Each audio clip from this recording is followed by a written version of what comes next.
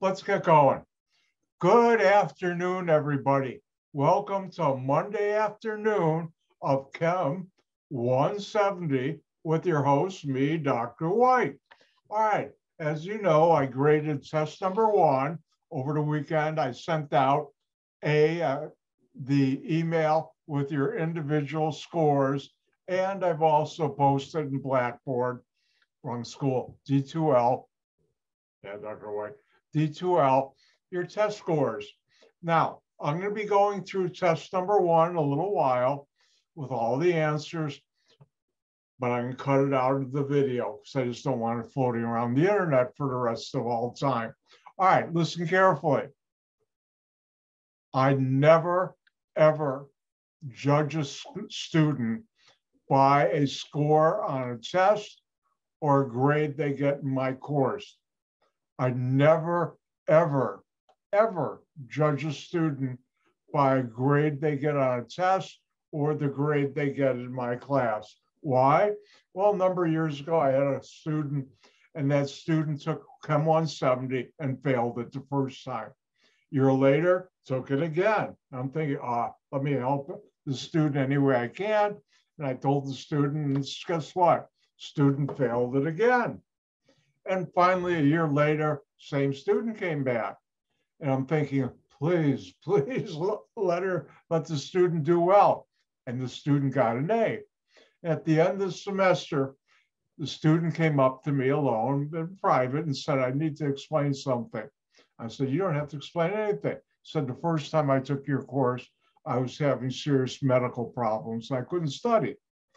Second time I took your course, I was having serious family problems going on. I really couldn't study. Third time, I'm well, no family problems, and she did well. So I never, and that's happened other times with other students, things going on in your life, they have nothing to do with chemistry. All right, now I'm gonna go through the whole test. If you're not here and watching the video, because I'm gonna cut it out, feel free to come to my office hour, or if you need to set up a special time and I can go through the test. If I make a mistake on grading, a student should never be penalized for that. Therefore, check your answers against what I did. If you find a mistake, let me know and I'll look at your test. And if I'd made a mistake, I'll correct it. Again, you should never be penalized for any mistake I make on a test. With that, let's get going.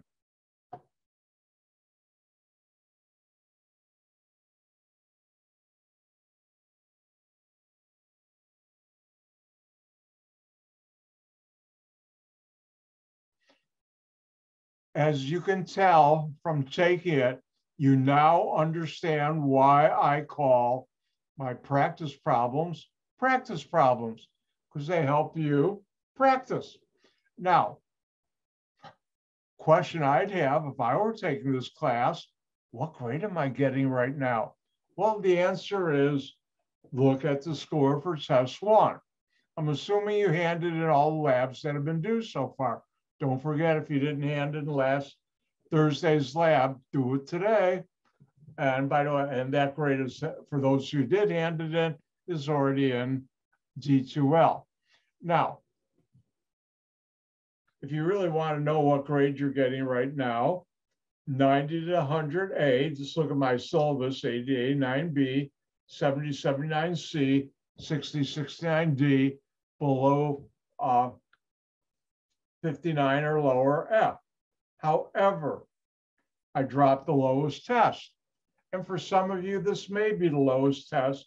So it's still possible for every student to get an A. Some of you might have a little harder route to go, but it's possible and it's doable. I've seen students do that.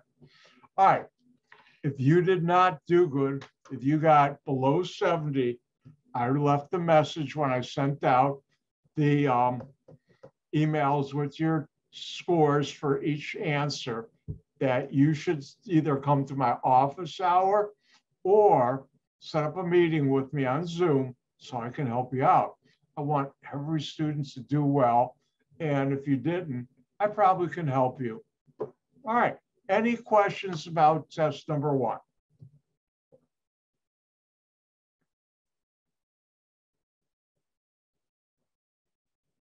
Also, save your test number one, because I would highly recommend that you use it as practice problems for the final exam. All right.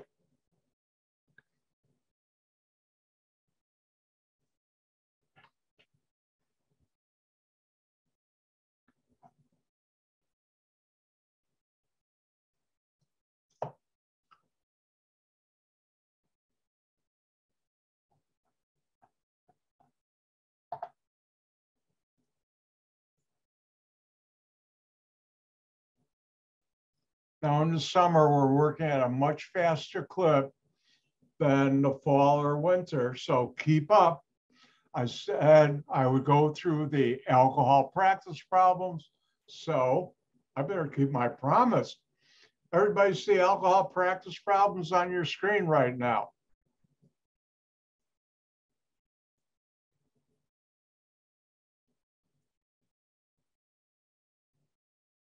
Well, let me try again. All right, now do you see it on your screen? Thumbs up, people, help me out.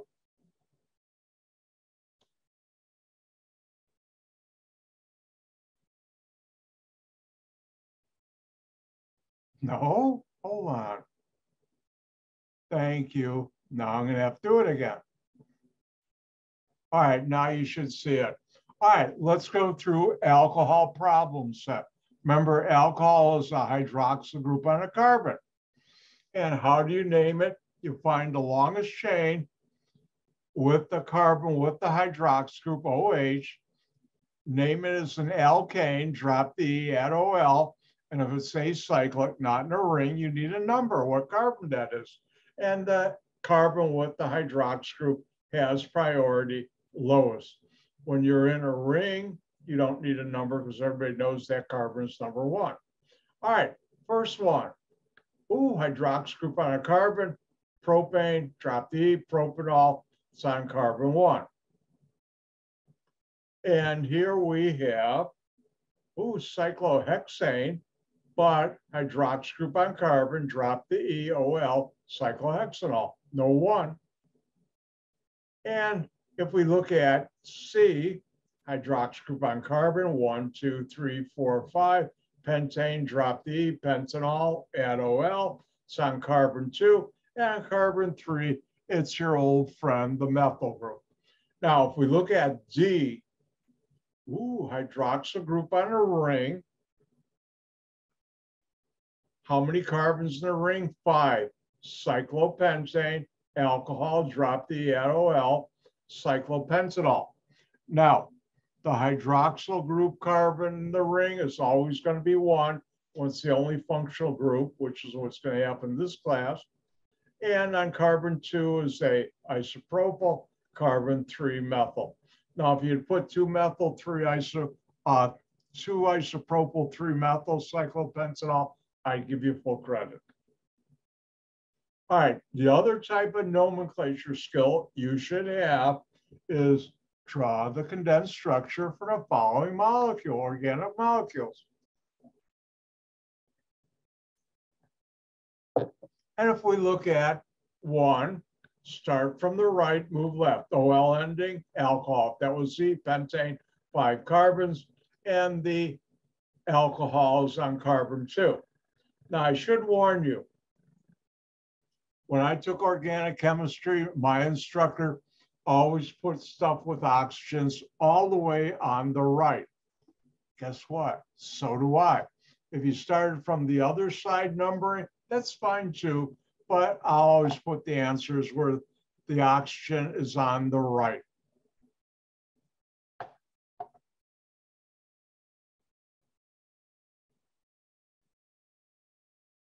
All right, let's look at B, cyclobutanol, OL ending, starting from the right, that were E, cyclobutane, and you can have the hydroxy group on any carbon.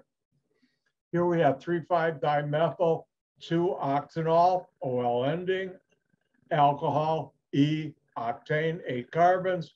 Where's the hydroxy group? Carbon two. Remember, always starting for acyclic from the end of the chains. And here we have, ooh, methyl, di, two of them, and they're on carbons three and five. And here I have isophenol, isopropyl phenol, phenol benzene ring with a hydroxyl group, para one, four, here's the isopropyl. Now, this is a common name, ethyl alcohol, ethyl, two carbons, alcohol, one of the carbons has a hydroxyl group. And now I can say, if you drive by a gas station and you go in and you look at the pump, the pump says this can, gasoline contains up to 10% ethanol. They don't use the common name, they use the IUPAC name. And you know what ethanol is right there. So if I were to ask, give an example place where you can get an alcohol, well, you can say a gas station to gasoline.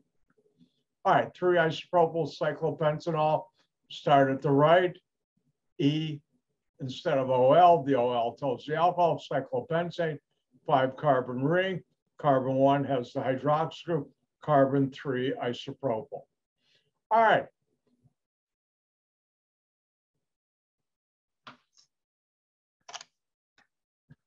Time out for some cold water.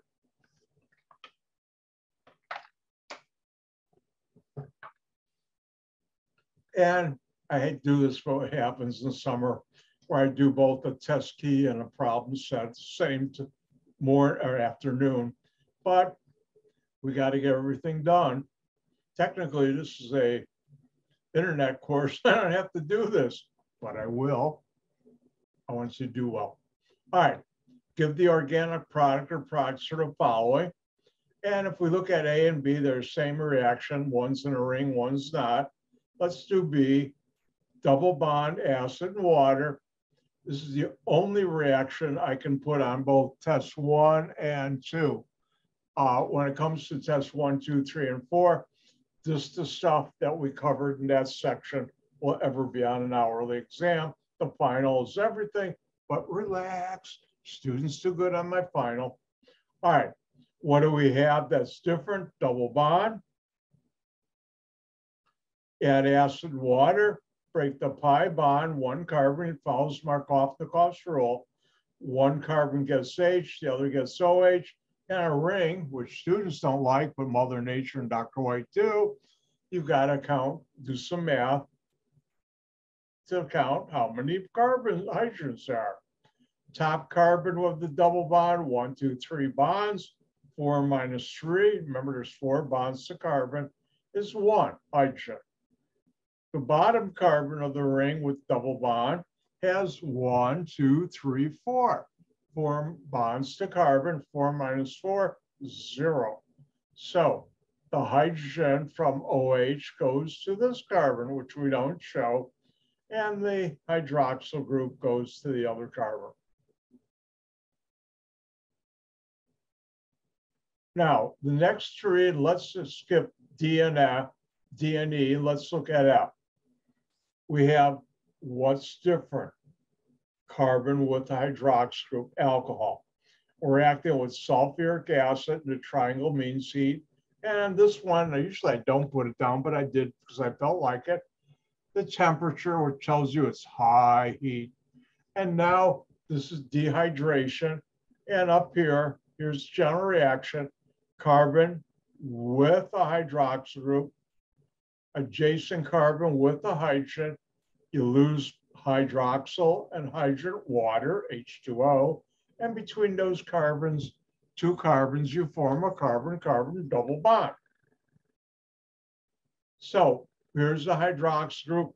Adjacent carbon is A or B. If I lose the hydrogen from A in the hydroxy group, I get compound A, the alkene. If I lose the hydrogen from B in the hydroxy group, I get compound B. And Zaitsev's rule is you, for the way I teach it for my class, you get the alkene double bond that has, listen carefully, the most carbon atoms directly bond to the carbons of the double bond. And if we look at A right here, there are two carbons. We look at B, there's one, two, three. Which is greater number? Hopefully I'll pick three. That's what you get, and you don't put down two. Now, G and H, what's different? Alcohol.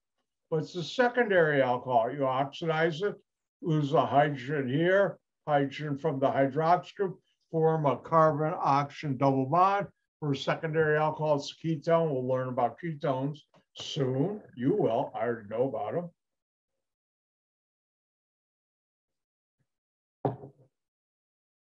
And therefore, between the, lose this hydrogen, this oxygen, uh, that, this hydrogen, hydrogen from the ring, and you form a carbon oxygen double bond. Same thing here. And you can have the double bond oxygen pointing down too. Notice I don't break any carbon-carbon single bonds. If we look at I, it's a primary alcohol, but same thing. Lose a hydrogen here, hydrogen there, form a carbon oxygen double bond. And here we do. Right, J, K, and I. All of them are alcohols. We're reacting with thionyl chloride, SOCl2. And what happens? You replace the hydroxyl group with a chlorine. And therefore, do you break carbon-carbon single bond? No. So if I have this ring, I'll still have the ring and the hydrox group on the carbon hydrox group was, is a chlorine. Next, I have an alcohol. And on the carb with thionyl chloride, you have one, two, three, four, plus a methyl group. The carbon with the hydrox group, you replace that, and now have a chlorine. I'll teach you later on why making these type of molecules are very useful for an amazing reaction. Now, similar but not the same, and we talked about that. Notice we, I talked about that. If you have a hydrox group on a carbon,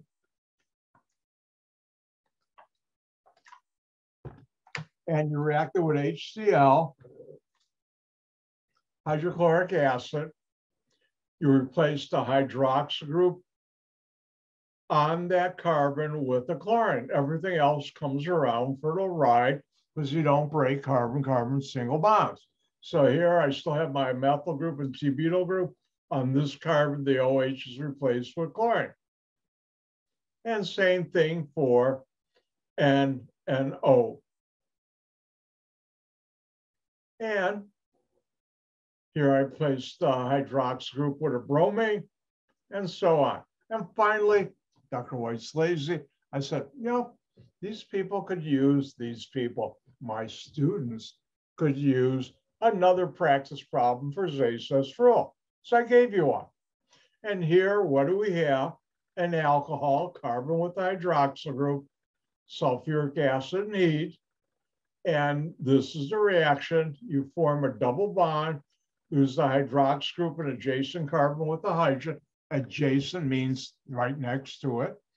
And it follows Zay's rule. You get the molecule that has the most, and listen carefully, carbon atoms directly bond to carbon's double bond. Well, here's my hydroxyl group. On carbon A is the hydrogen, carbon B has the hydrogen. If I lose the hydrogen from A in the hydroxyl group, I'll form a double bond between here and I'll get compound A. If I lose the hydroxyl group and the hydrogen from B, and I'll get a double bond here, I get compound B. Now, which is the one that Zays's present rule says you'll get? Well, A has only two carbons bond to the carbons, the double bond, one, two. Carbon uh, compound B has one, two, three. And now you have to use your high level math skills, which is the larger number, two or three. Time's up, and hopefully I'll pick three. which is why B is the correct answer and A is not.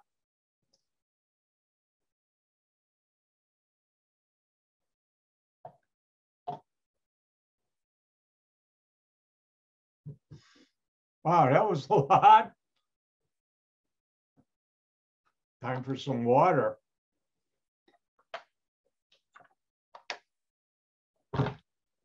All right, any questions?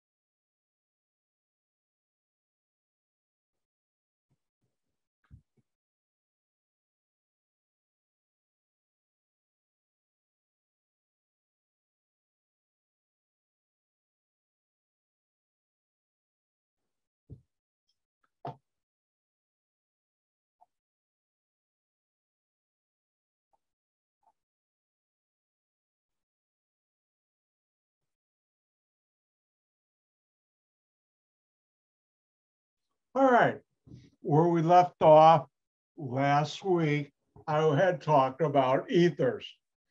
And ethers are where you have an oxygen R and R prime.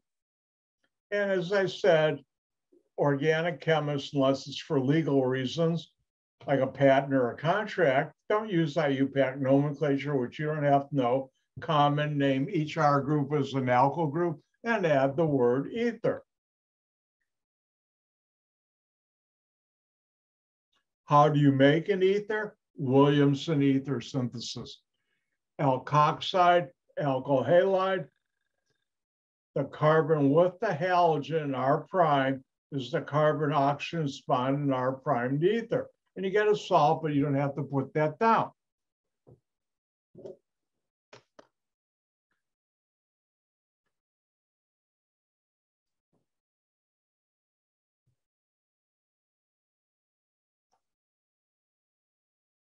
Oops, wrong color. Right color.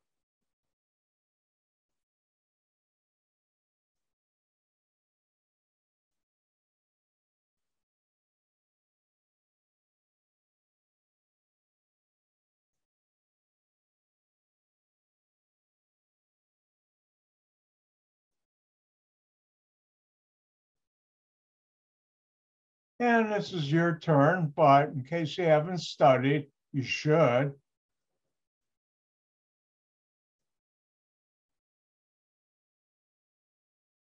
There you go, your turn.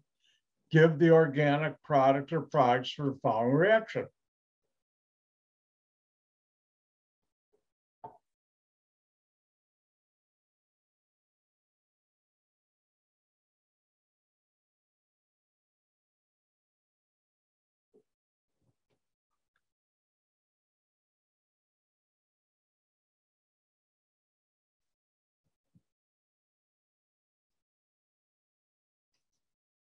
And it's your turn. I just want organic, not the salt. Oops, I gave it away.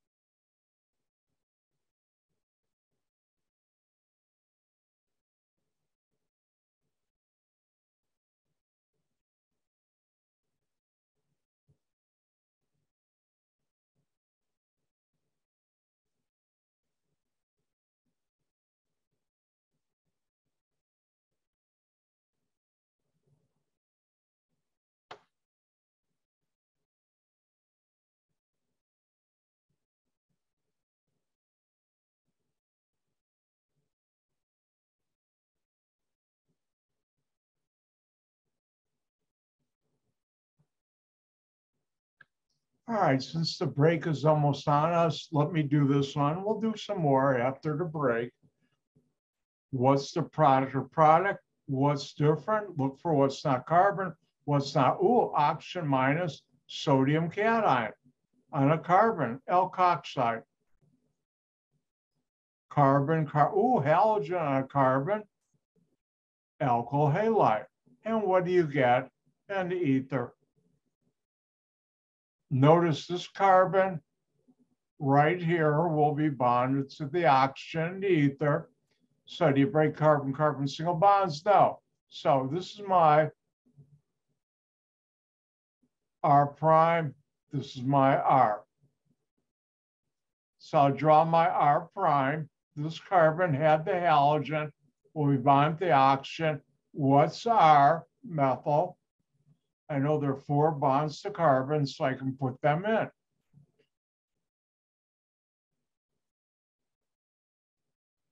And you've just made this ether. And with that, ooh, I went a whole minute early, over. Sorry, come back at 256. I'm going to take a break and hopefully you will too. I'll see you in five.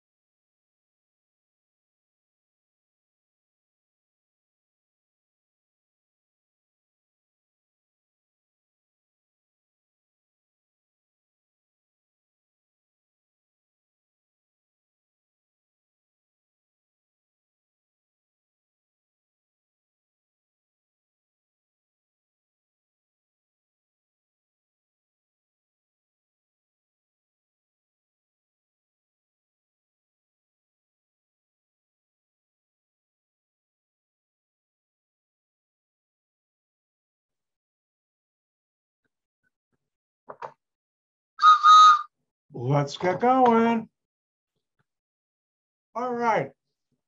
Let's do one more ether problem.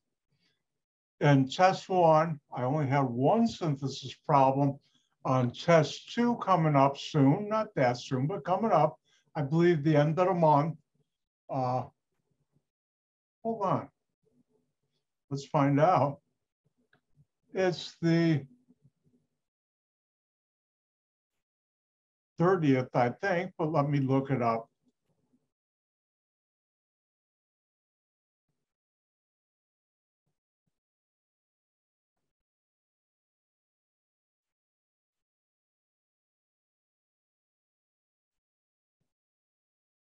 And I was right on uh, Thursday, the 30th, which we got next week too, will be test number two. And we've almost covered half the material on that. All right, let's get back on test two. I'll probably have three syntheses. Remember, any more would be cruel, unusual punishment. At least up to now, the Supreme Court has outlawed that. So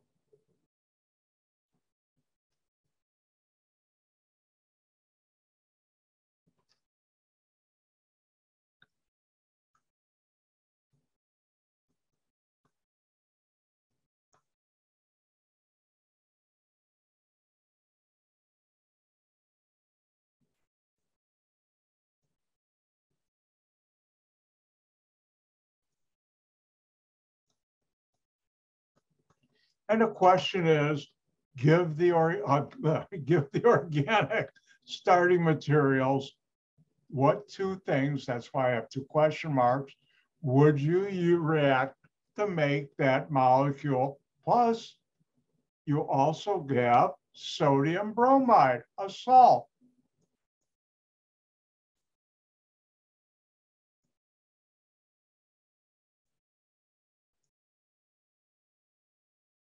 It's your turn. What two things do you react to make this molecule?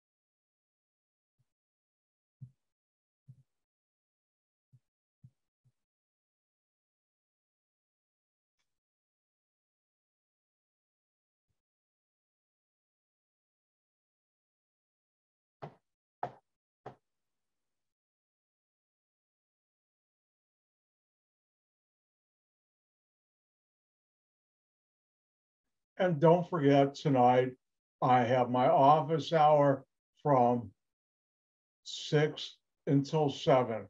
And at seven, don't forget to watch the Stanley Cup final tonight. Uh, I don't know why, since there's no Chicago team, the Blackhawks aren't in it, unfortunately. I don't know how or why, but when two teams are in a final or something like that, and neither are Chicago teams, I'll emotionally be for one. I don't know why I pick one, stick with them. And right now, um, hoping the Avalanche wins. You saw Saturday night game. Ah, they dominated the Tampa Bay Lightning seven zip in a final in the Stanley Cup. Unbelievable game. Tonight should be interesting. See if the Lightning pop back.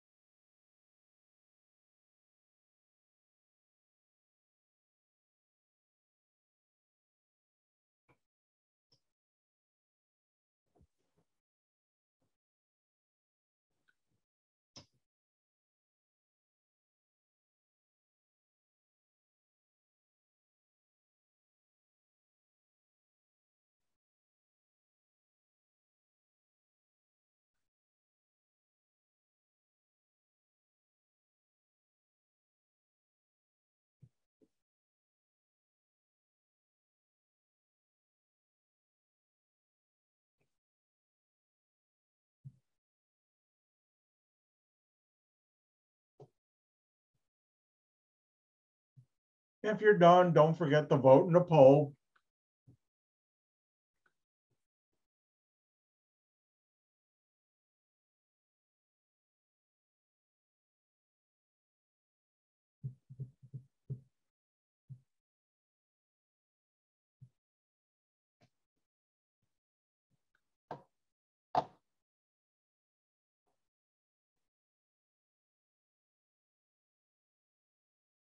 All right, let's get going. We look at this, the product, what's different? Ooh, an oxygen and carbons here and carbons here. What is that? An ether. And notice I have a salt too, where X can be chlorine, in our case it's bromine, or iodine. And how do you make an ether plus a salt? You start with an alkoxide, RO minus and A plus, and react that with an alkyl halide. And as I said, this is what X can be. Now, I can say this is R, and this is R prime. If that's the case, R is ethyl, the alkoxide here is this. Now, the carbon here that has the oxygen is the carbon here with the halogen. Do you break carbon-carbon single bonds? R prime has three, it better start with three. And the N carbon has a halogen. What's that halogen? Bromine. I know there are four bonds to carbon, I can put in my hydrogens. Now, I could also have said, and this is the fun part about synthesis, make this R prime and this R. Well, if I do that, R has an alkoxide, three carbons. The carbon with the oxygen here is the same carbon with the oxygen here. And then my R prime is two carbons.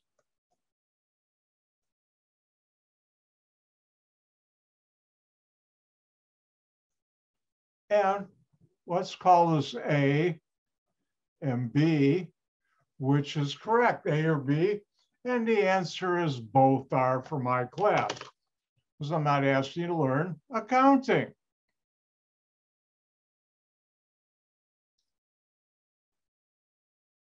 Any questions on ethers?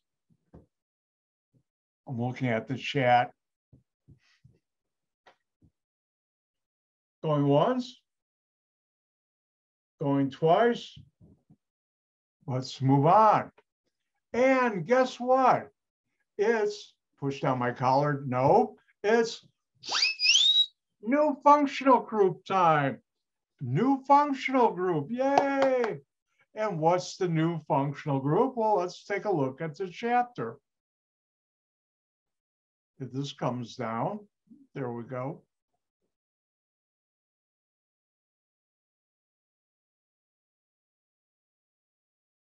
And the new functional group is called an epoxide. Now, what is an epoxide? Well, I have in general an epoxide here.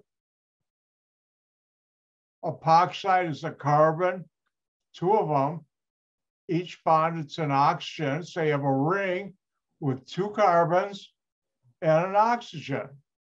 Now, at first glance, you'd say, wow, that looks like an ether. But no. Why? Because it undergoes chemistry ethers don't undergo. Therefore, it has to be a different functional group. Now, good news, I will not cover nomenclature of epoxides at all, either common or ask you to learn common or IUPAC. Now, I should mention, be honest with you, which I always have been, is this is an area I've worked in heavily. Uh, to my US patents utilize reactions of epoxides. So I guess I know a little about it. Ah, that's an understatement.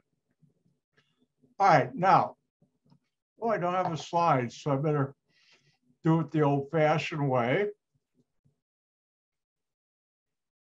Now for this class and really in the United States and the world, the most important epoxide is this one, the simplest.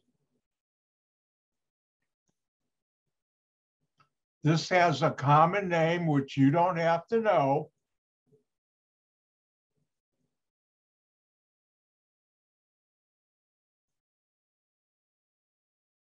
Ethylene oxide. And ethylene oxide is a gas at room temperature. And I've worked with this. I supervise uh, reactions in chemical plants using ethylene oxide. Now, I'm going to try and be a good chemist and a good teacher, not use slang. If you work in the industry using ethylene oxide, the chemical industry, we don't even call it that.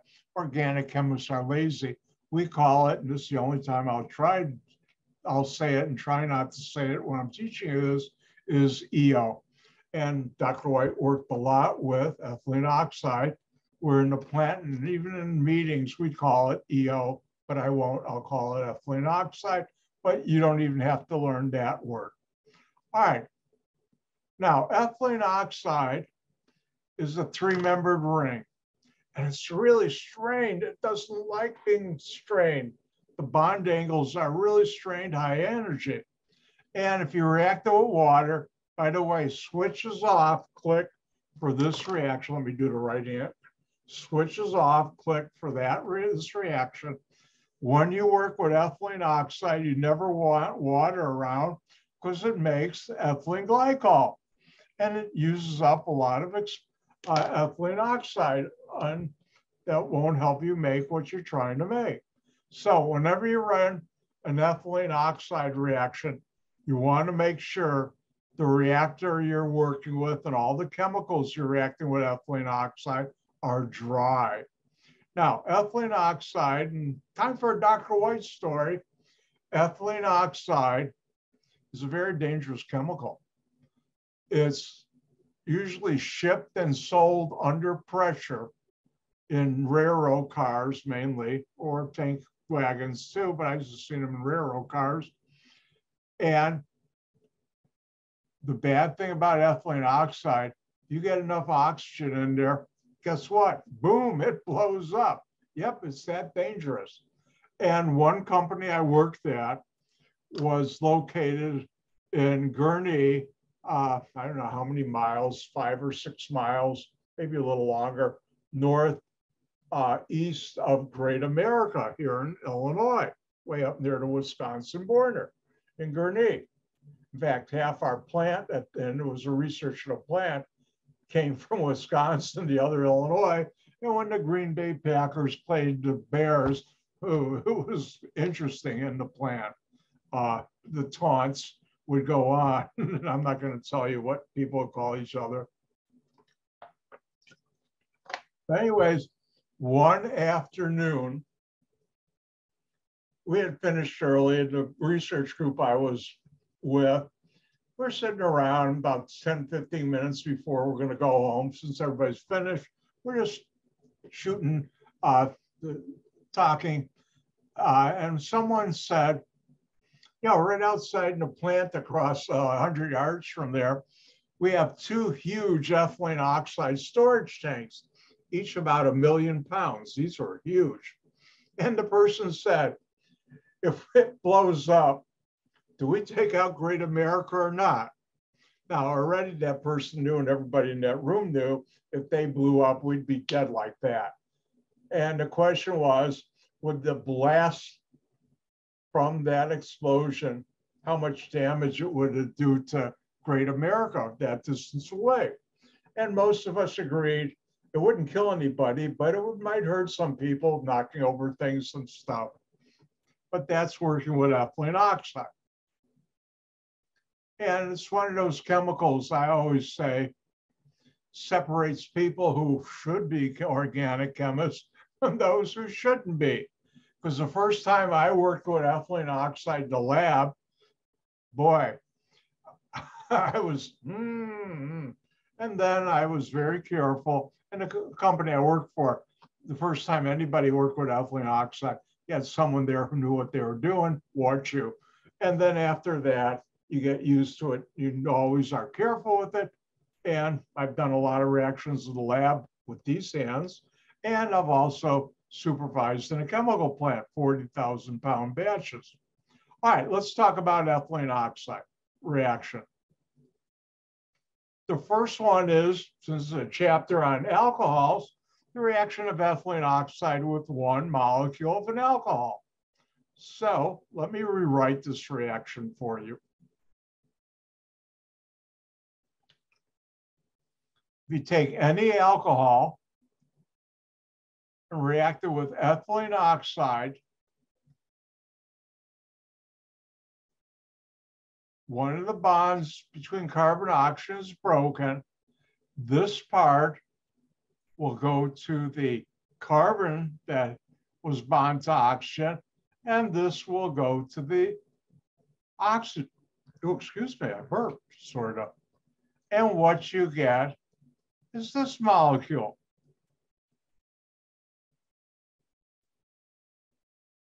And here you go. Now, look carefully. It's got not one, but two functional groups. Carbons, oxygen, carbons, ether. Carbon hydroxy group, alcohol.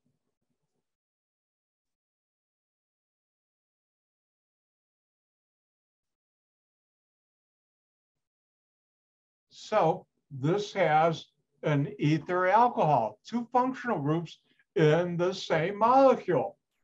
All right, let's have some fun with this.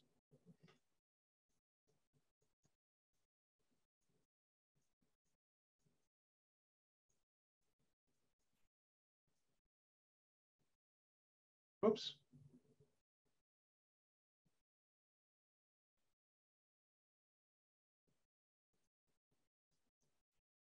And the question is, give the organic product or products for the following reaction.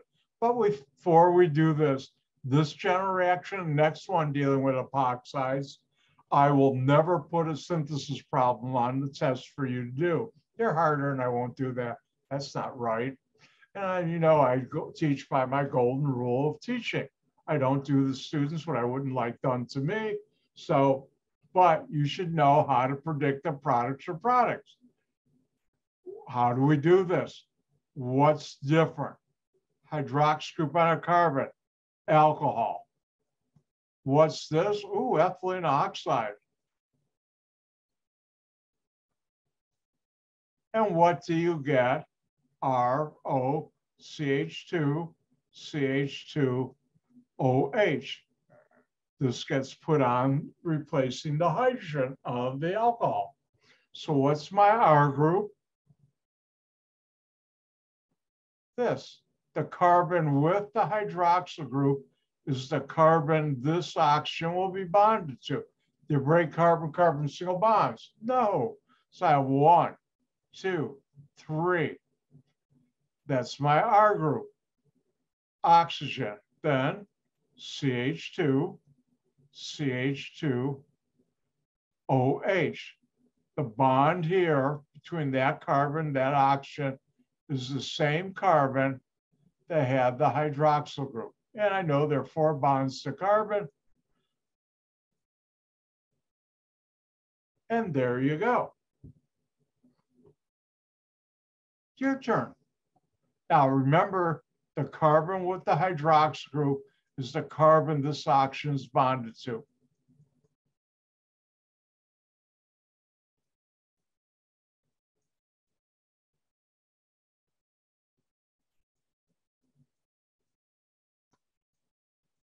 And there's one for you to have fun with. Again, I'll never put this on a test as a synthesis problem.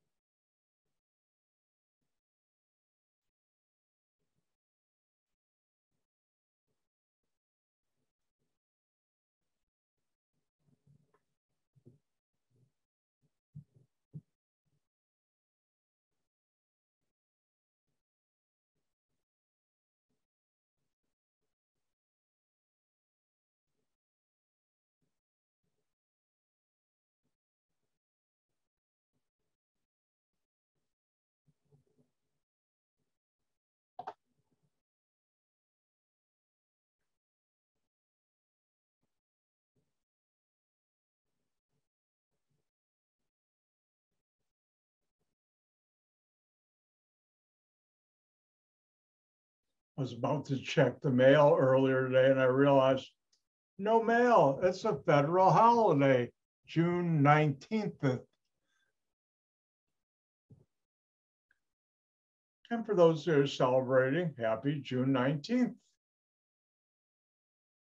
I think I'm pronouncing it wrong. Well, it's a new holiday. In case you don't know, today was the day even though it was two years after President Lincoln signed the Emancipation Proclamation that the last slaves in the United States were finally freed. It's a good reason to celebrate a holiday. All right, let's do this. Oh, wait a second, I should be nice.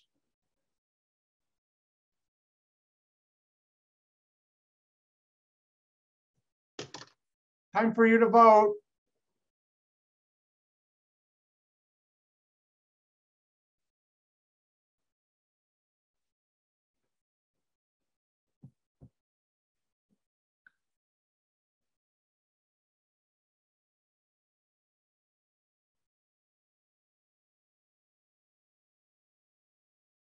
Hold on.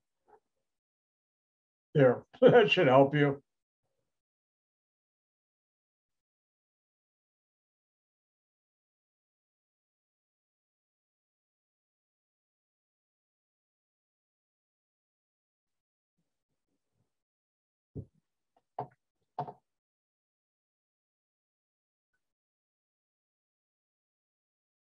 All right, I think everybody's done, so I can get the work we look at this problem, we look for what's different, what's not a carbon, what's not a hydrogen. In this chapter, that will be fine. Ooh, an oxygen with a hydrogen and a carbon, alcohol. What's this? Carbon, carbon, oxygen in a three-membered ring, ethylene oxide. And what do you get? This ether alcohol. What's my R group? isopropyl, three carbons. You don't break carbon-carbon single bonds. And the carbon with the hydroxyl group is the carbon bonded to this right here. So oxygen, CH2, CH2, OH. And I know there are four bonds to carbon, so I can put this in. And there you go. Oh, this was too much fun. I've got to let you try another one.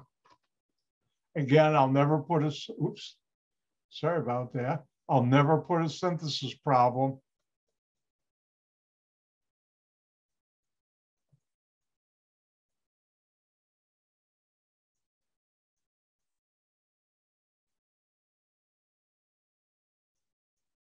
And here's one more for you to have fun with. Have fun.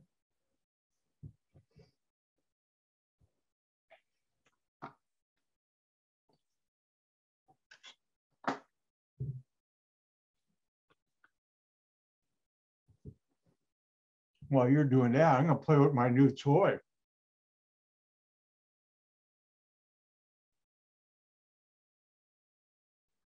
It's a special flashlight I just got.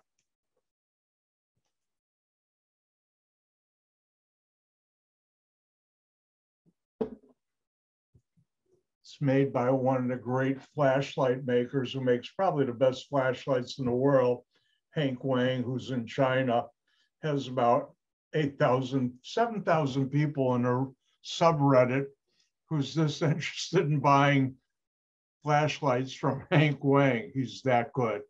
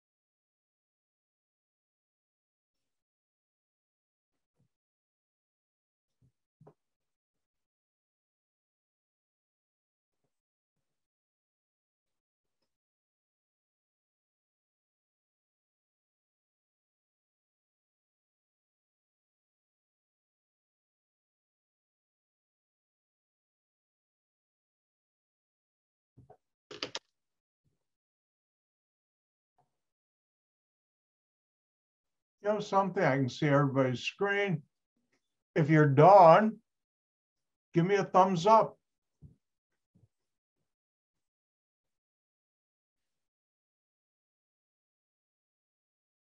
See one person done.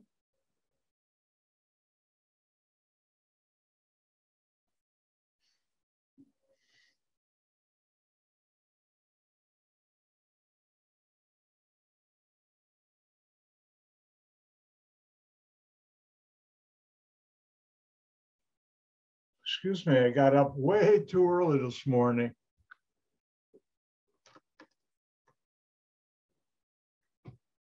All right, and well, I'll be quiet.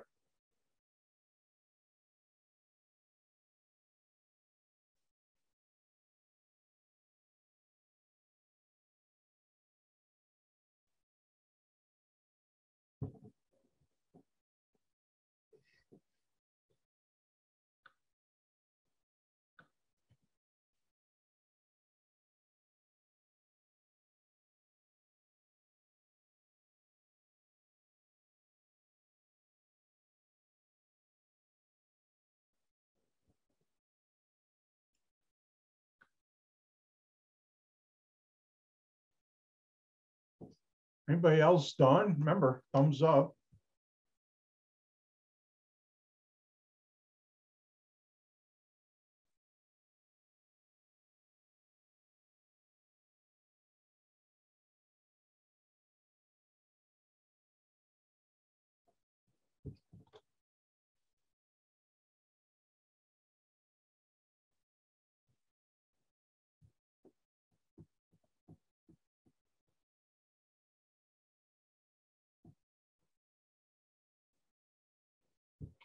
All right, let's move forward.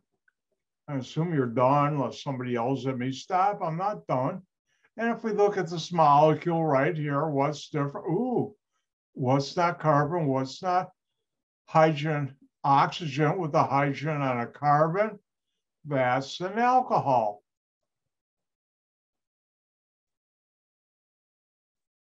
Ooh, two carbons and oxygen, ring, ethylene oxide.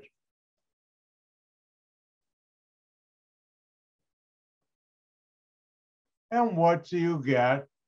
You get this ether alcohol. And the carbon in the R with the hydroxyl group is the same carbon this oxygen is bonded to. Well, what's my R group?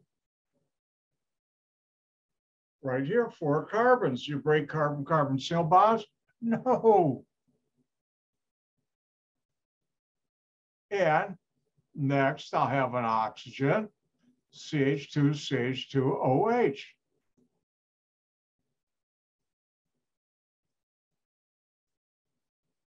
And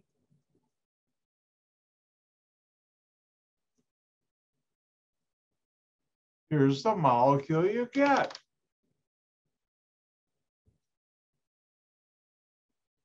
Now, one of the things I'll be doing more and more is ask you to ask the question, why am I learning this stuff?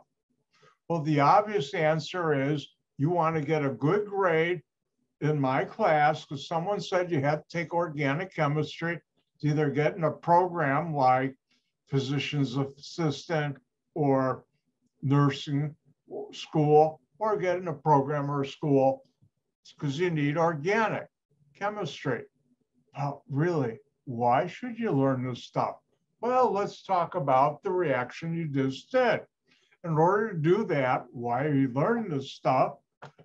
And I should mention, I'm getting to some stuff you wouldn't believe, but I'm just talking about the chemical side of it, nothing about the moral side of anything.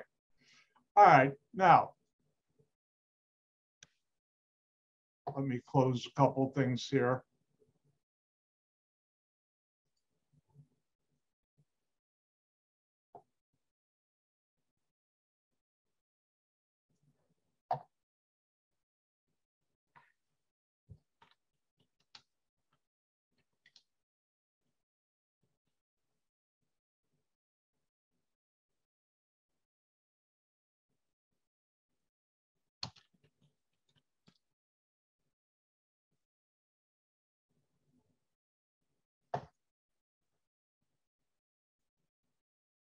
All right, everybody see on your screen, give me a thumbs up. Deepwater Horizon oil spill.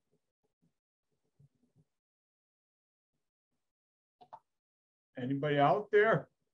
Thank you, Jimmy. All right, now, it's been a while. Back in April of 2010, wow, 12 years ago, seems like just yesterday, one of the worst ecological damaging occurrences happened in the Gulf of Mexico. And there was an oil well drill platform called Deepwater Horizon. I don't know how they got the name. And if the safety features failed and the oil, the oil well that they were drilling or had drilled started leaking crude oil, lots of it lots of it. And I don't know if they have uh, how much, let's see, the federal government estimated 210 million gallons. I calculated based on what they were saying the leak was, and it was a lot higher than that. Even this number is tremendous damage, ecological damage. Now, I am an industrial organic chemist. I worked many decades in the industry, but by then I was already teaching and I happened to be home and I saw that in the news. I'm in, not inhaling, but following it closely with someone who knows industrial organic chemistry.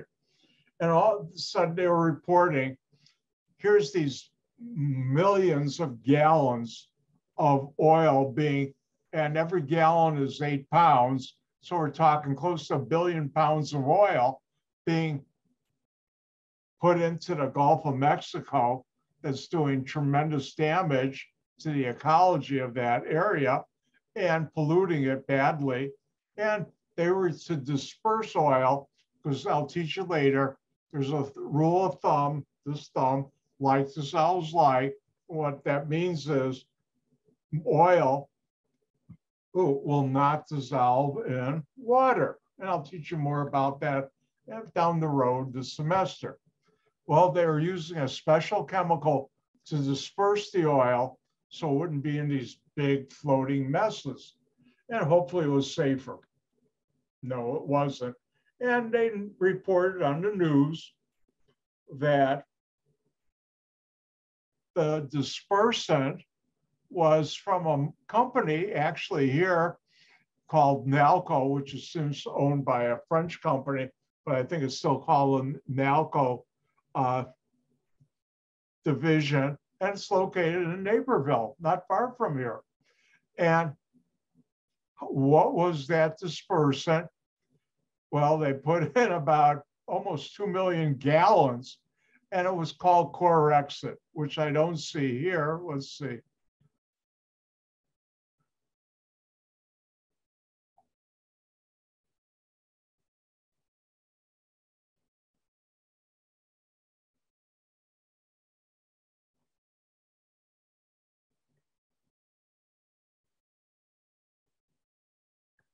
Here it is, Corexit oil. And there are a couple versions of this. And if you click on correct, uh, Corexit, I don't know if they have the one here, the two versions, 94 something, it's been a while. Here, 9527 and 9500. Now I'm going to teach you something right now that will never be on a test, but it's a good thing for you to know every chemical that's manufactured in the United States, every chemical that's sold in a product in the United States, there's what's called, in every product that contains chemicals, a material safety data sheet. And chemists call it, or in industry at least, MSDS. Some people call it SDS, MSDS, Material Safety Data Sheet, or Safety Data Sheet, SDS. And guess what? With the internet now, you can find the MSDS for anything, just about.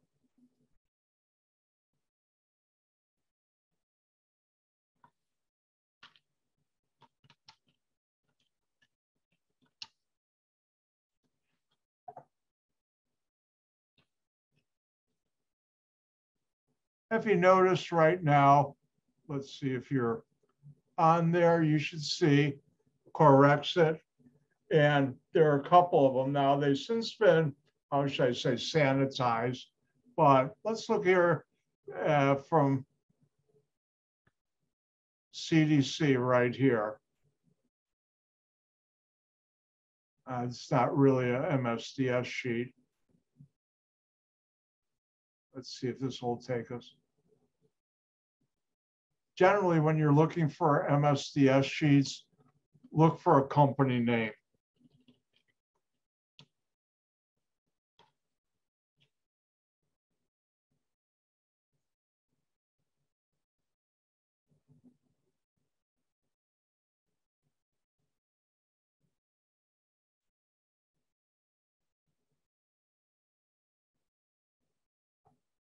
Some of the companies that used to have it Let's try something.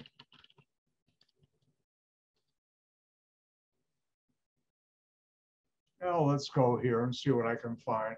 All right, here's the Nalco. All right, everybody see the MSDS sheet on your screen? Not now, I just hit the wrong. thumbs up people. Can you see it right here? Nalco, Corexit, EC9. Thank you, Janet. All right, now there's similar Part one gives you the name. Part two, and this is important, gives you the ingredients. And notice the second one, 2-butoxyethanol. I wonder what's that? I know propylene glycol isn't that bad and isn't that good. So I said, hmm, I better look up this MSDS sheet. And that's because I'm a responsible organic chemist, industrial. So I did the following.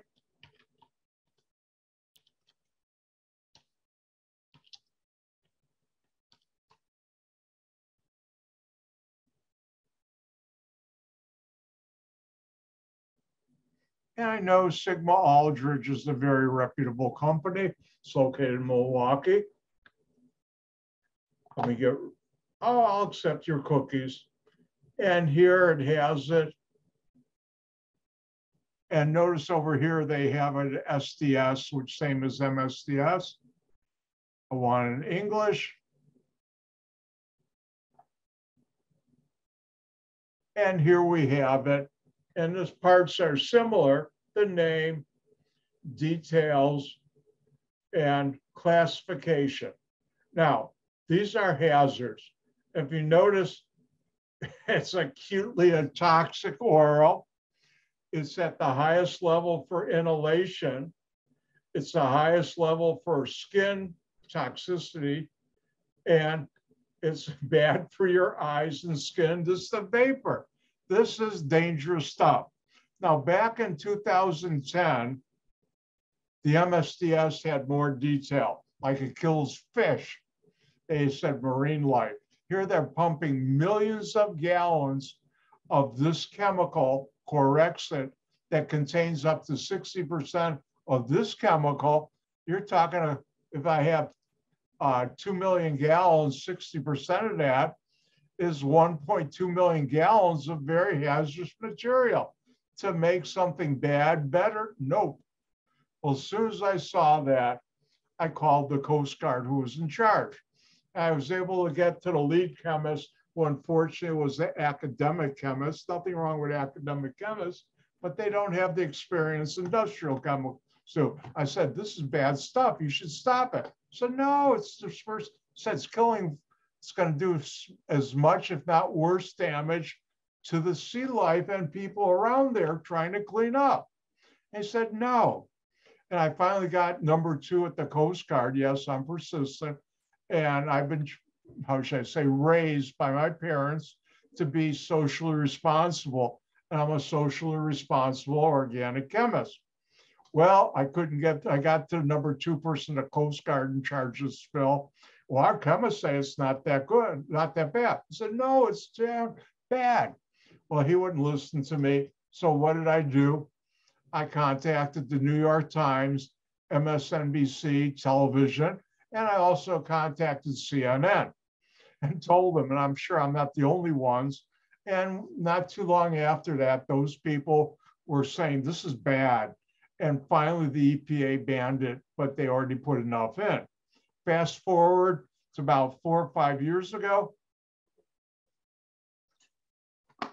And I saw an article about the cleanup and the fact that workers afterward, and were suffering from these medical conditions.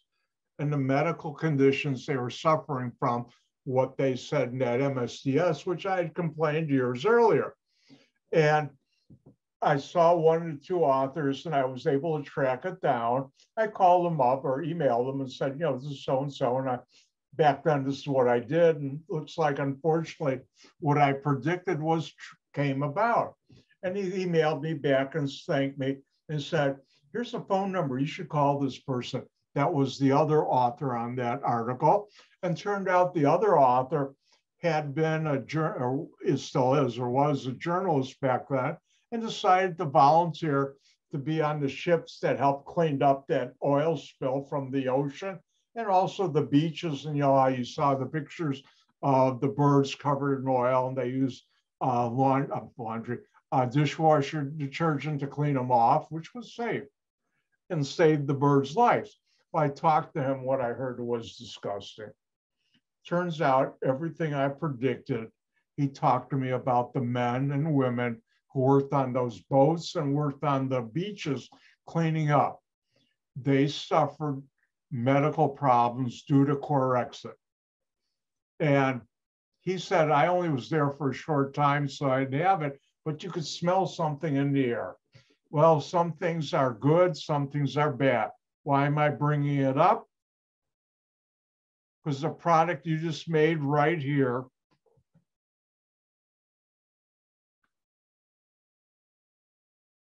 is the key ingredient in Corexit. It's the IUPAC name is 2-butoxyethanol. And how do you take it? N-butyl alcohol, ethylene oxide, and that's how you make it. So some things are good and some things, well, are not the best. And that's my story. All right. You know something, sometimes I do this, and this would be a good time. Let's take a little longer break, come back at 350.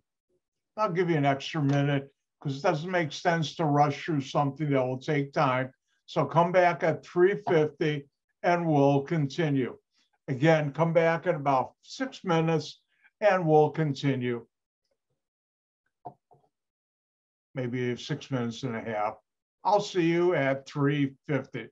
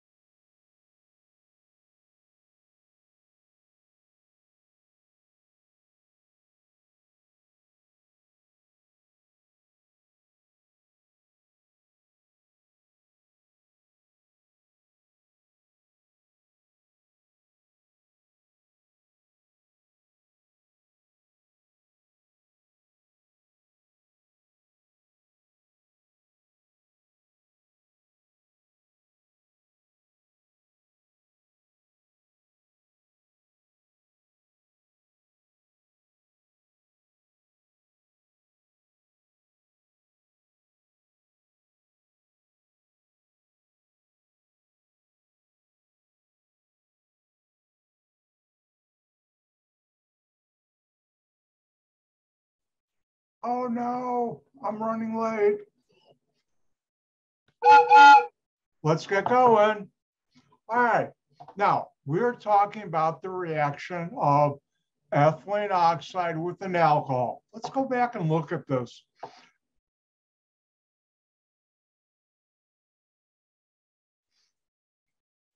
Now, the reaction, alcohol plus ethylene oxide reacts to make this ether alcohol. Remember ether?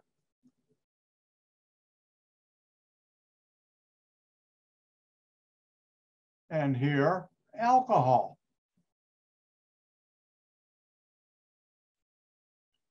Now I'm going to do something right now with this reaction. Don't write it down. I had to itch my ankle. Sorry about that. And let me illustrate something again. Don't write this down. But you can always go back and look at the video. But if I were in a classroom, I'd be doing this on whiteboard, telling students, don't write this down.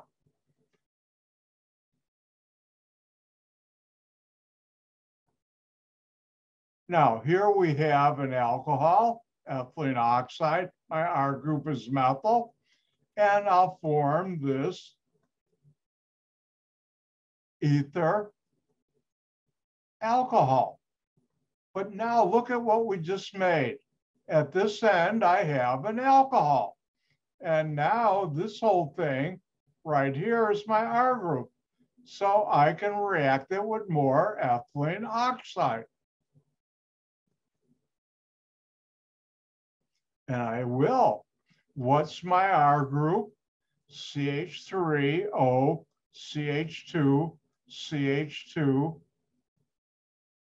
And then I'll get this part added on. O, then another CH2, CH2, OH. If we look at this product, what is at the end here? Another alcohol. So I can react this, which is an alcohol. Now my R group is this with more ethylene oxide, and I will. And what happens? My R group now is this.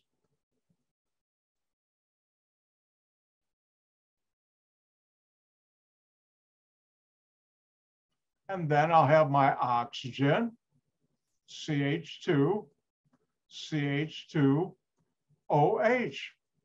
If we look at this new product, I have an alcohol here and I could add more and more like the Energizer Bunny. I don't get any money back from them. Boom, boom, boom. I could keep on reacting. In real life, companies do. But let's look at what this is. Now, Notice after one mole of ethylene oxide, this is a product. So this is the first molar molecule. This is the second one. This is the third one. Now, if we look at the final product after addition of three molecules, or in chemistry, we call that moles of ethylene oxide, notice in this product here, the repeating unit, one, two, three. And I can rewrite this molecule like this. CH3, what's my repeating unit? O, CH2, CH2. And it's repeating, so I'll put it in a bracket. How many times did it repeat? One, two, three. And then at the very end here is the hydroxyl group outside the bracket. So these are the same. This is an easier way of writing it. Now let's look at this. How many moles of ethylene oxide or molecules do we react with our original alcohol? One, two, three. So I could have written it like this.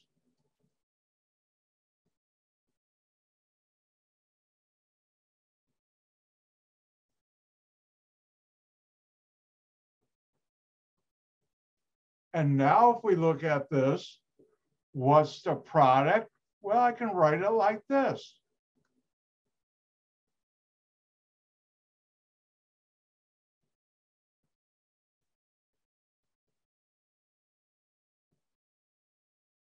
And notice the number of molecules or moles of ethylene oxide indicates how many times OCH2 CH2 repeats. And what this reaction is, let's go back to our slides for the chapter,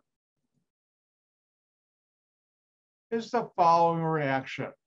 If you react, the, and I have it written this way, but you can also write it this way,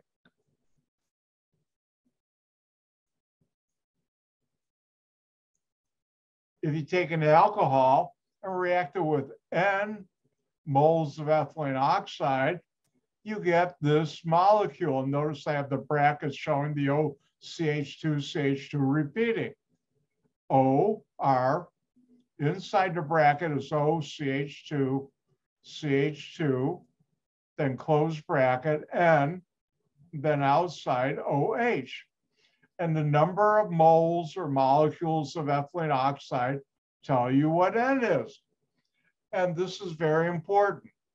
I worked for a company, and that was in by Great America, that did this with different alcohols, and N could be 2, 5, 10, 20, 25.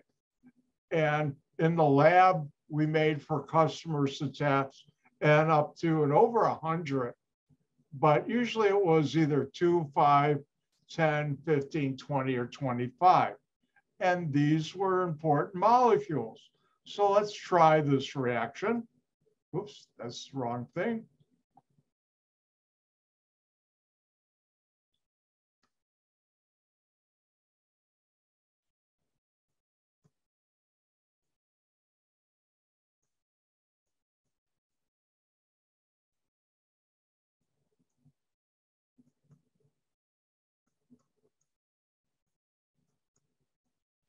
And the question is, what's the organic product or product?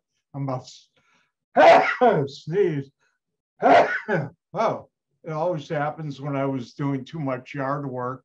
I know something outside sometimes gets to my nose. Yesterday, I spent about four hours in the morning doing some serious battle with another Mother Nature, otherwise known as yard work, because it had been so hot. I never had time with my schedule and yesterday it wasn't that bad. It was actually rather nice.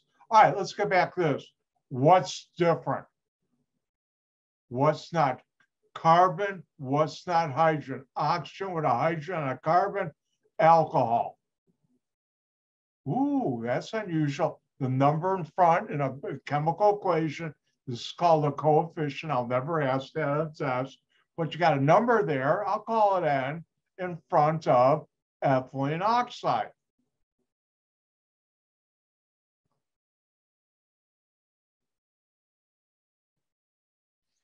And what do you get? R bracket O CH2 CH2 close bracket subscript N OH. Now, common mistake on test number two is students put this inside there, which is wrong. nothing like that exists. And guess what? I mark it wrong. This is always outside of this bracket. So what's my R group? Three carbons. You break carbon, carbon, single bonds. No. So I have one, two, three. The carbon with the hydroxy group is this carbon that's bonded to or line to the bracket O carbon, carbon, close bracket. What's N? We look right there, the coefficient 6 OH. And now I know there are four bonds to carbon, and I'll put in my hydrogens.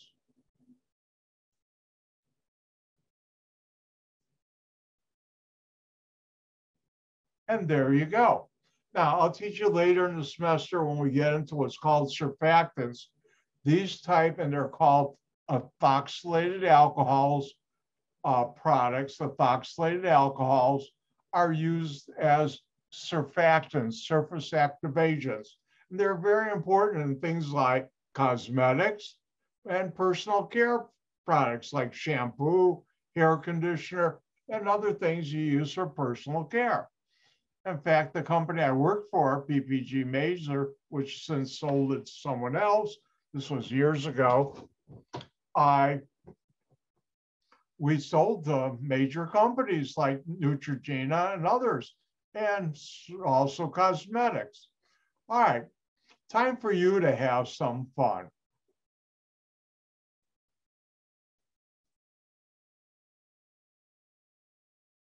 And this reaction and the previous one, any reaction with ethylene oxide, I will never ask for you to do a synthesis problem.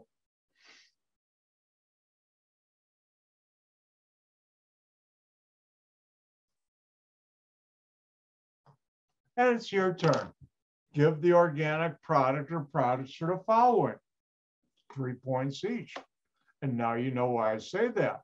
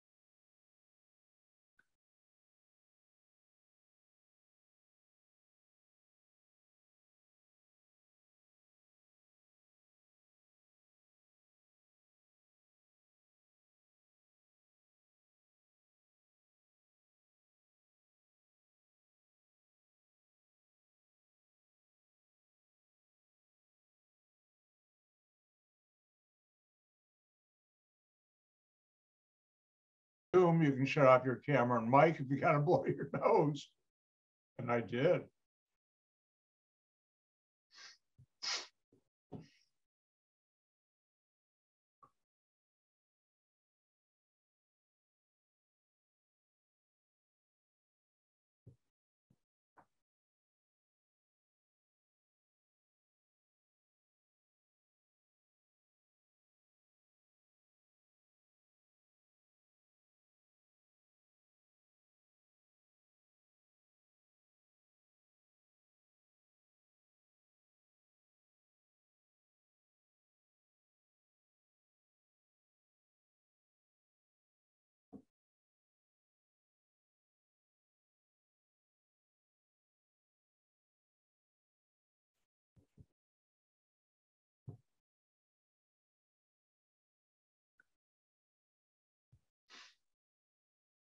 And when you're done, please give me a thumbs up. Let's see if you guys do that.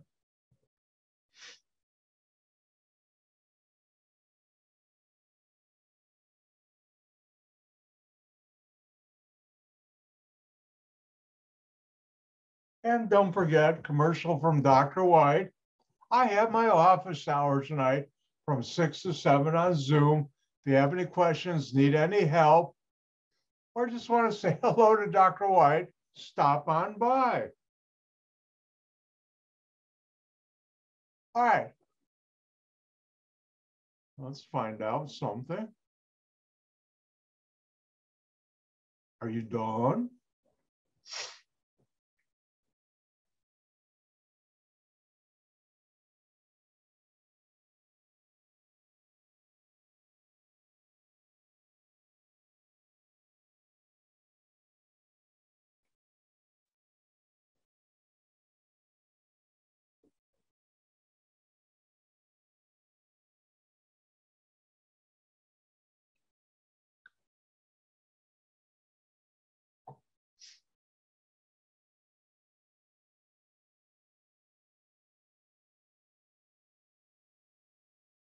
All right, let's do this.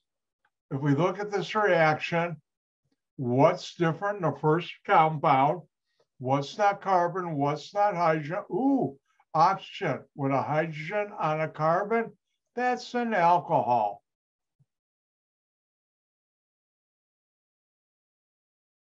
I'm reacting with ethylene oxide. Remember ring, carbon, two carbons and a hydrogen, uh, hydrogen, oxygen. But wait, I have a coefficient that's not one, and I'll call that n. And what do you get? You get this poly, poly means many, ether alcohol. And here in the bracket are polyether N, and outside the bracket, hint, remember, is your hydrox group, your alcohol. Now, N here dictates what N is here, there. Now, what's our R group? My favorite, a T-butyl group.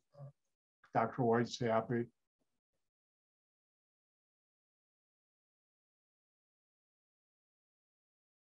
And then you have an oxygen in a bracket, CH2, CH2.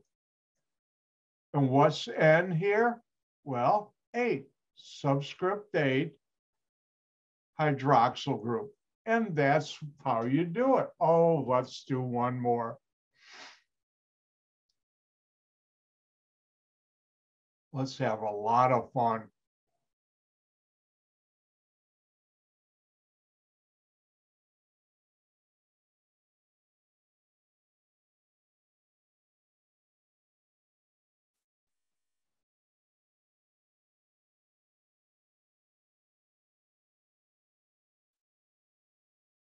All right, now let me give you a little help on this problem. This is just an R group, nine carbons, single carbon, carbon, single bonds. That won't react with ethylene oxide. Oh, look, I have a benzene ring.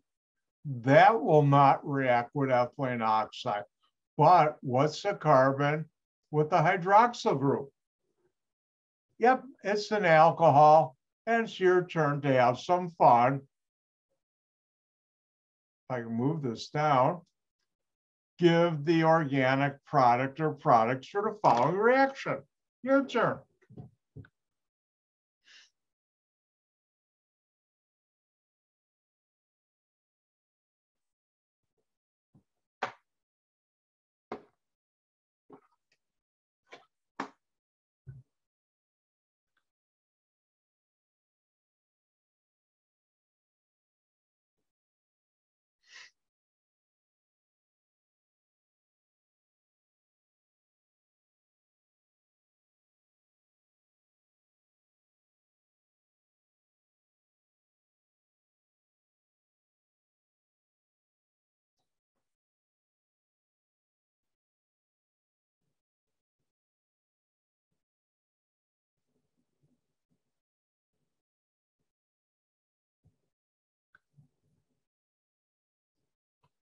Remember, ethylene oxide will not react with the benzene ring or this R group on the benzene ring with nine carbons. But it will react with an alcohol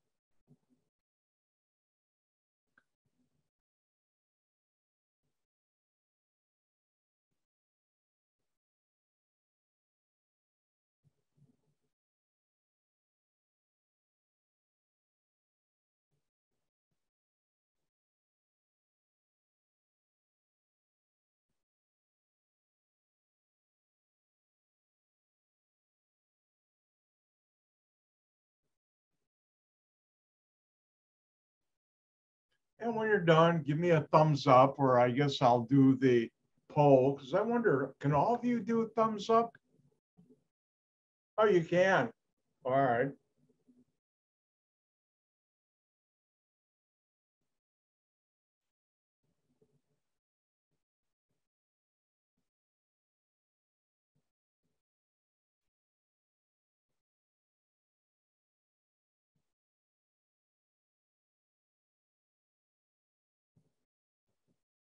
I hope you're all finding the videos that I post each of our lecture days, Monday through Thursday, useful.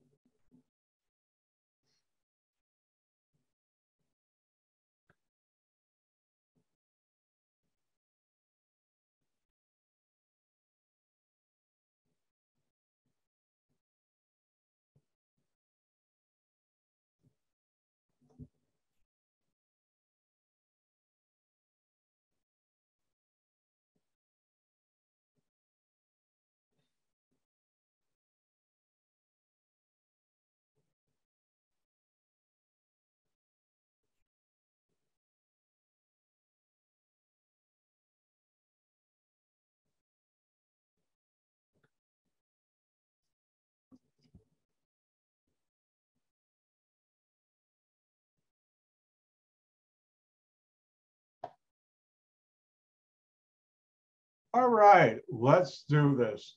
If I look at this molecule right here, what's different? Well, I got a benzene ring. If this is this carbon-carbon single bonds, that's not different. But this won't, benzene ring won't react with ethylene oxide. But I have a carbon with a hydroxyl group, and the answer is that will react. That's an alcohol. Yep, this whole thing right here is this R. And I have, ooh, number nine, N moles or molecules of ethylene oxide, two carbons, each carbon is bonded together and also bonds an oxygen, three-membered ring, two carbons, one oxygen. What do you get? R bracket OCH2 CH2, close bracket, subscript N from there, and then OH, a poly, meaning many, ether alcohol. So what's my R group? A benzene ring, and the para position is C9H19. This is called the alkyl group, and it's called nonyl and you don't have it from my class, then this whole thing is my R, and now have a bracket, OCH2, CH2, close bracket, what's N, goes here, and that's 9, and then O, H. Ooh, 9 disappeared and that's what you get. Now, earlier today, I said, you should be asking, why am I learning this stuff? Well, the obvious answer is, as I've said, I found out the first day, you're here to take this class because somebody said you need it. And you need it to get into a program or college.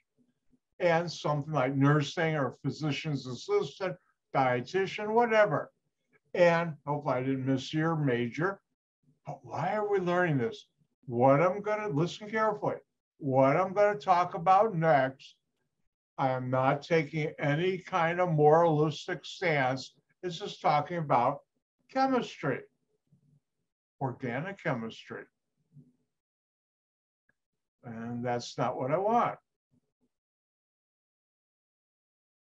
That's what I want.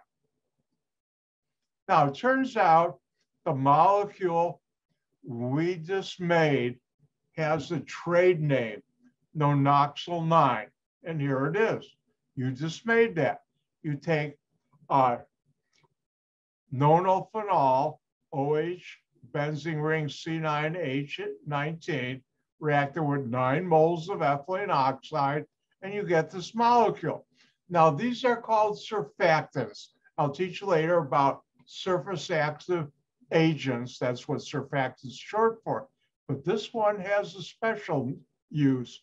It's a spermicide, kills sperm. Again, I'm just showing the organic chemistry.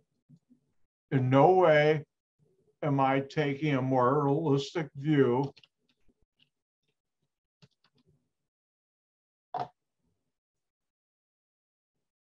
All right, thumbs up, people. Do you see on your screen, Wikipedia, nonoxyl 9? Let me make sure you should be seeing it.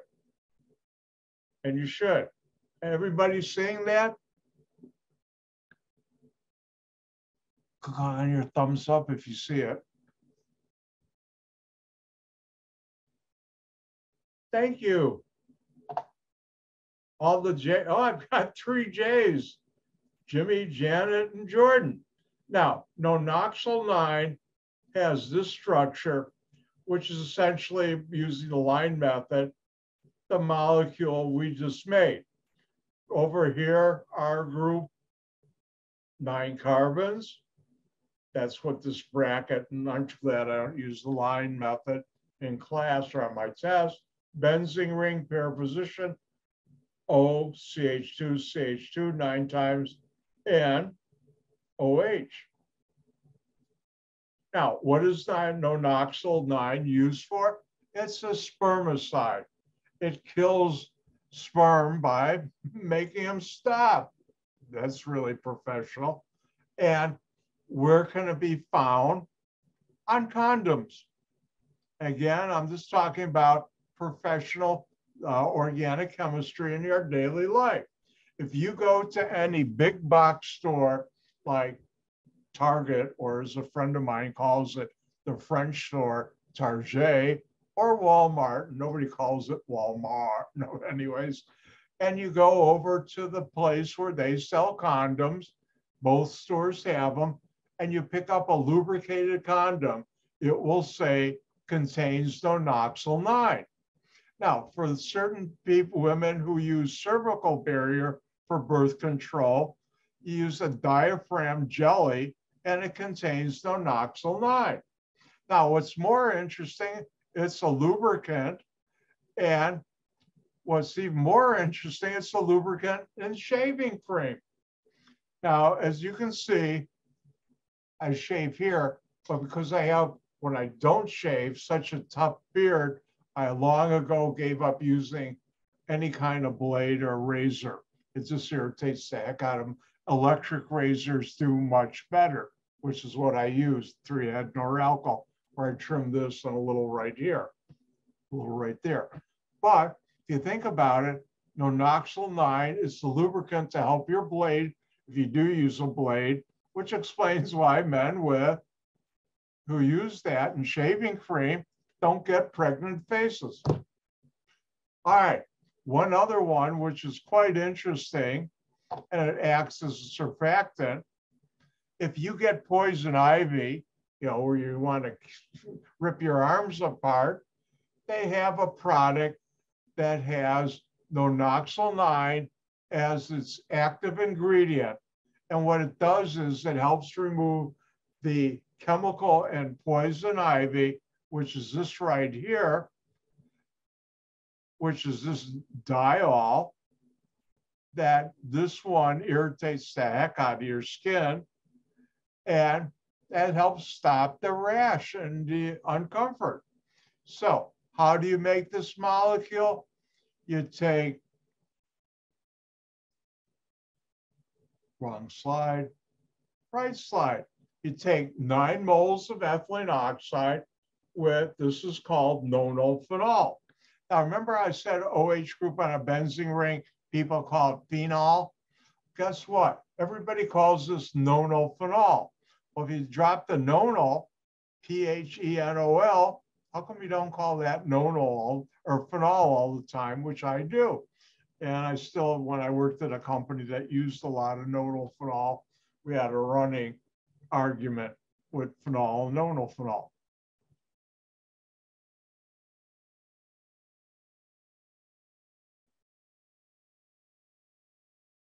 And I'll never in this reaction right here or the previous one with ethylene oxide ask a synthesis questions on the test or in the final. That's not right. All right, now if we look at this, oh no, we finished another chapter, which means we've just finished the ethers and epoxides chapter. Ta-da! What that means is this, let's see, today's Monday. This Wednesday, I will go through the ethers and epoxide problem set. Summer's getting as fast, and even the fall, winter, when we get to this part, I'm picking it up somewhat. Make sure you spend a lot of time practicing, or you're not going to like what you see on your test scores. Practice the general reactions. Write them down five times. Now, if I look at the clock, we've got time to go back and do one more practice problem in alcohols that students always have problems with. And let's take a look at that. And um, from experience, when I put something like this on test number two, uh oh, I gave it away. Students get it wrong. So let's practice this.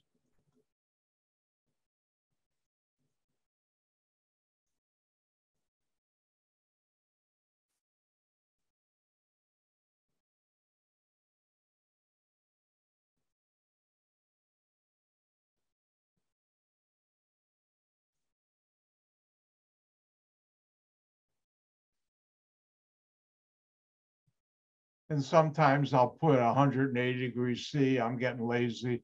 I'm not going to do that. Now, I'm going to help you out.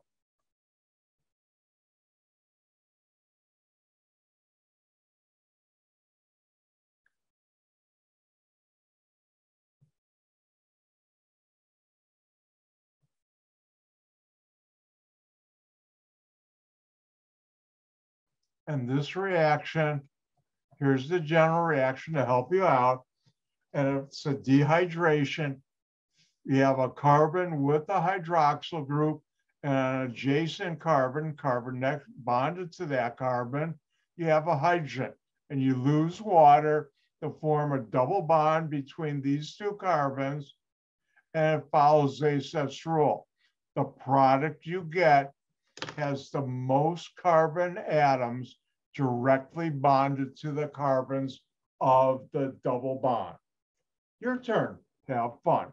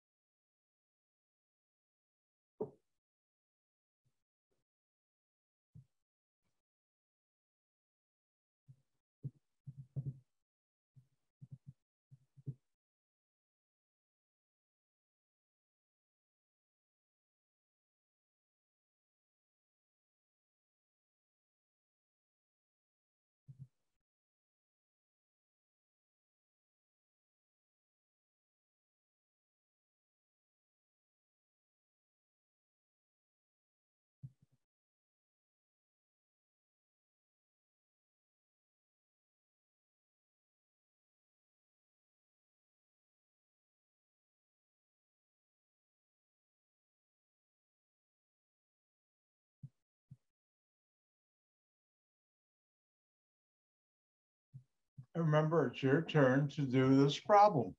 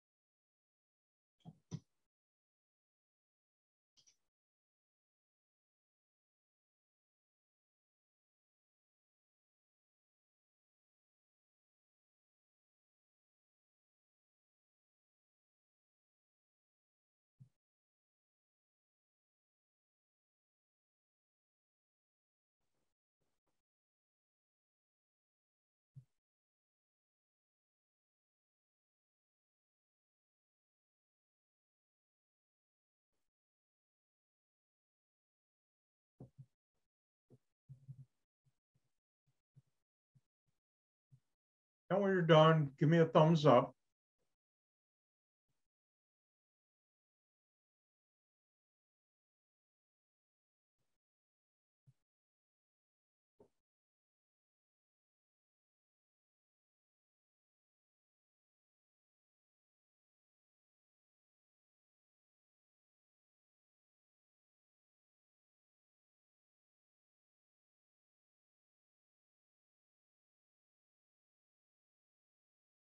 Remember, Zaitsev's rule is you get the product that has the most carbon atoms directly bonded to the carbons of the double bond that's formed.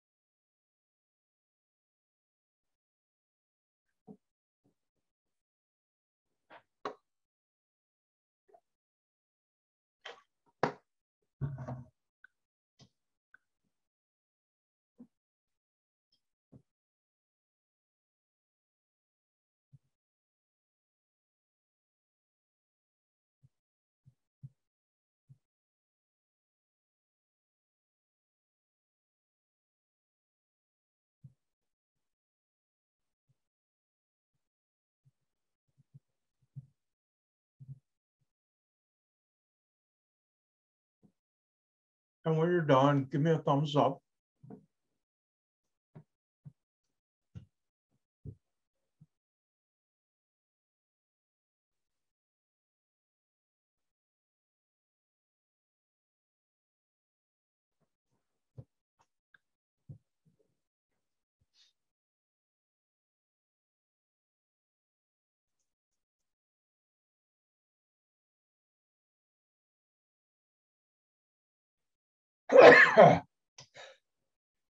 Excuse me.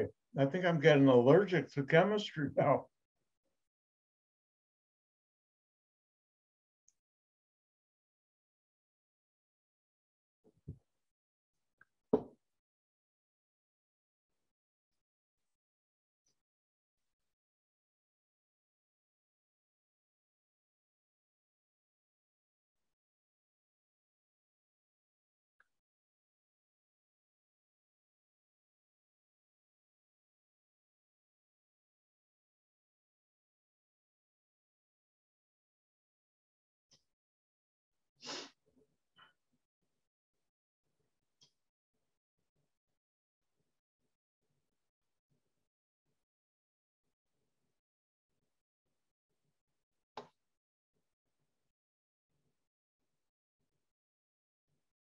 All right, let's try a poll.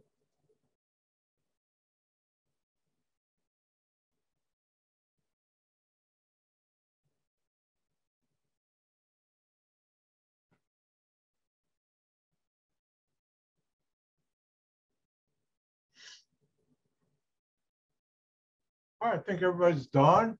Let's move forward. All right, now, here we have an alcohol. And adjacent carbons, and let me go color, A and B. Both have hydrogens adjacent. Next, attached to the, they're attached to the carbon with the hydroxyl group. If I lose ox, hydroxyl from here, hydrogen from A, I lose water. And for A, I would form, let me put B here. You have five carbons, one, two, three, four, methyl group. Here are my two carbons right here, and I'll form a double bond between there. I'll put in the hydrogens because I know there are four bonds to carbon. And that's what you get. Now, if I come over here and say, well, I could lose the hydroxyl group and the hydrogen from carbon B. And if I do that between the carbon with the hydroxyl group and the carbon B, I'll form a carbon-carbon double bond. I still have my five carbons, four plus a methyl. Now these two carbons, I'll form a double bond.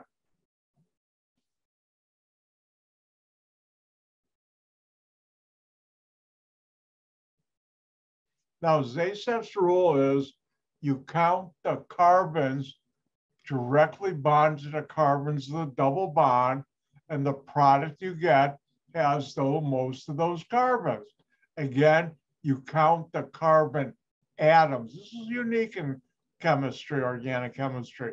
This one has one.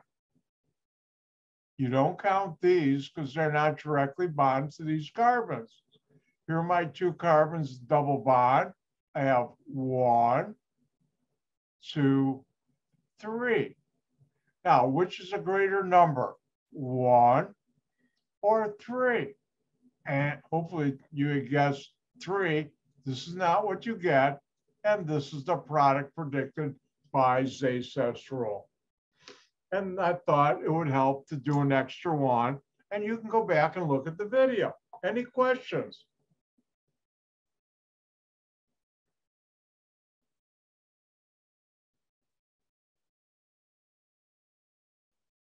All right, well, I thought I'd do that practice problem.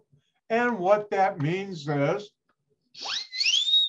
it's new chapter time. Boy, we're moving quickly. It's new functional group time.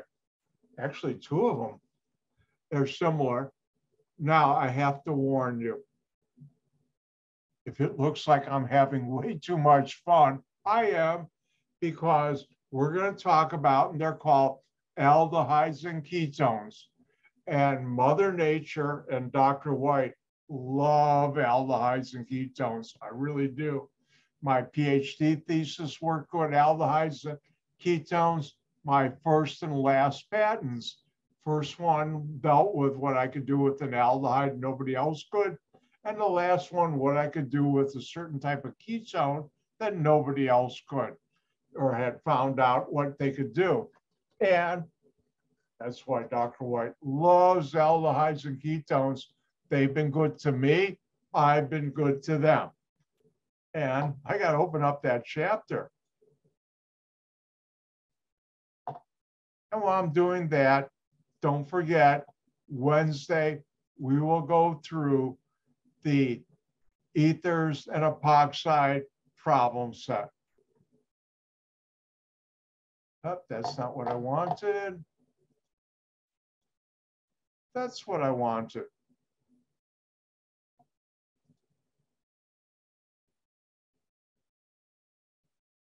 All right. Everybody see aldehydes and ketones on your screen? Thumbs up, people. Thank you, Jimmy. Thank you, Jordan. All right. What's an aldehyde? An aldehyde is a carbon double bond to oxygen. And on the carbon double bond to oxygen, you have carbons R and a hydrogen. This is an aldehyde. Carbon double bond to oxygen, hydrogen, carbons here, aldehyde. Now, you can draw without showing the carbon there. And sometimes I'll do that on tests, I try and stay away from that. Another way of drawing an aldehyde is this one. And if you count bonds to carbon, you know, oops, this thought I changed ink, hold on, you know there's a double bond. Now, I don't like this way. I usually draw it like this or most likely like this. And that's an aldehyde.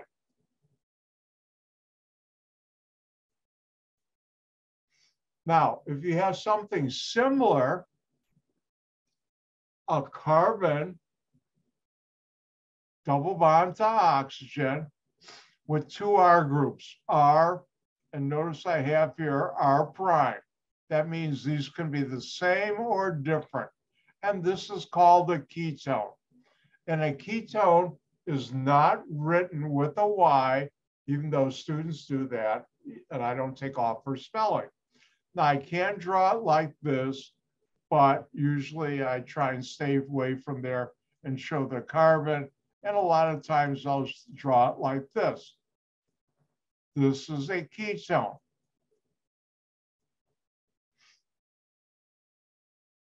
And if we go back, or I go over to my whiteboard,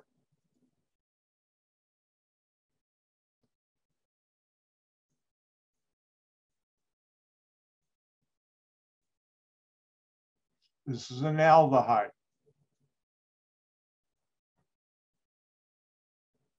And this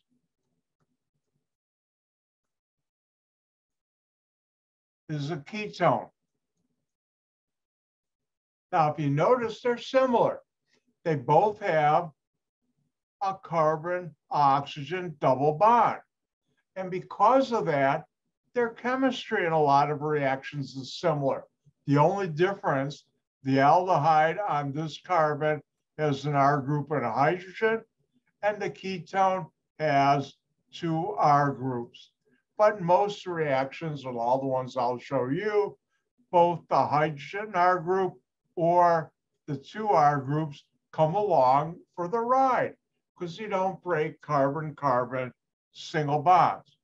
And you'll have to wait until tomorrow to learn more about ketones and aldehydes. But Dr. White and Mother Nature love aldehydes, excuse me, love aldehydes and ketones. Now, don't forget, this Wednesday, I will go through the epoch or ether and epoxide problem set. Do it before I do. That will help your grade tonight from six to seven, I'll have my office hour on Zoom, different login, and you're all invited to stop by, say hello, or ask questions. And with that, I'm going to let you out a whole 60 seconds early, and I'm going to say, Gang I'll see you tomorrow. And don't forget the lab that is due tomorrow. Do it. The spice, you know, the one you smelled uh, aromatic compounds lab. And with that, I'll say, gang goodbye.